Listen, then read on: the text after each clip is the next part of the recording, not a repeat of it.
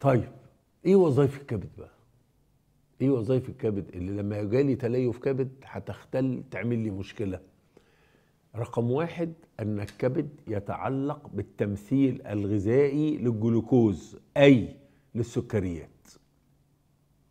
الكبد هو العضو المسؤول عن التمثيل تمثيل غذائي يعني إيه؟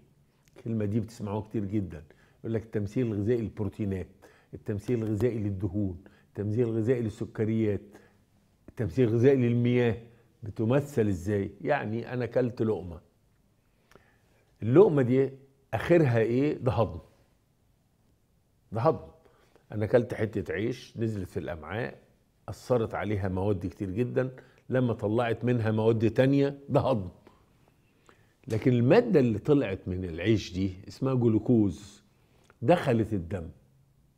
معاملة الجسم لهذه المادة اسمه تمثيل غذائي. معاملة الجسم لهذه المادة تمثيل غذائي. زي بالظبط كلت حتة لحم. تهضم إلى تك تك تك تك إلى حاجة اسمها أحماض أمينية. تخش الدم. دخلت الدم ده تمثيل غذائي بقى. ما هو التمثيل الغذائي للأحماض الأمينية؟ أي اللي كانت بروتينات. ما هو التمثيل الغذائي للجلوكوز؟ أي. اللي كانت نشويات. ما هو التمثيل الغذائي للأحماض الدهنية اللي كانت دهنيات. فده التمثيل الغذائي. التمثيل الغذائي هاخد آخر حاجة في المادة اللي هي اتهضمت وبقت أحادية. يعني حاجة مش مش معقول أنا همتص في الدم عيش ولا مكرونة ولا رز. لازم يدشدش يدشدش يدشدش لما تبقى مادة سهلة الدخول إلى الدم اللي هي الجلوكوز. فالكبد مسؤول عن التمثيل الغذائي للجلوكوز. لو هتشوفوا تقولوا سبحان الله والله الجلوكوز العيش نزل في الأمعاء اتهضم بقى جلوكوز دخل على الدم. فين؟ على الدم على الكبد. على الكبد عدل. الكبد يسأل الدم محتاج جلوكوز؟ يقول له آه. يقول له طب اتفضل.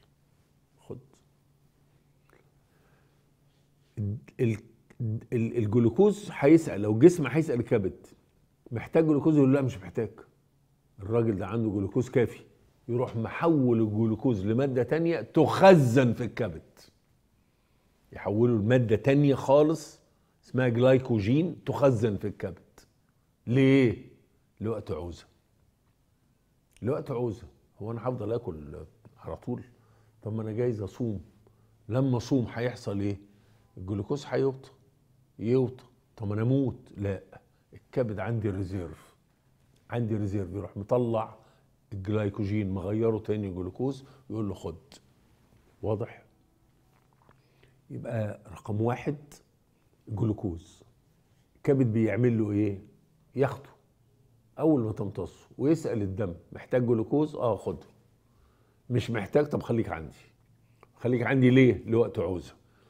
لو أنا صمت ونزل الجلوكوز أديك الحقك من الجلوكوز. عشان كده في ناس كتير جدا مصاب بتليف كبد. ما عندوش الحكاية دي. ما عندوش.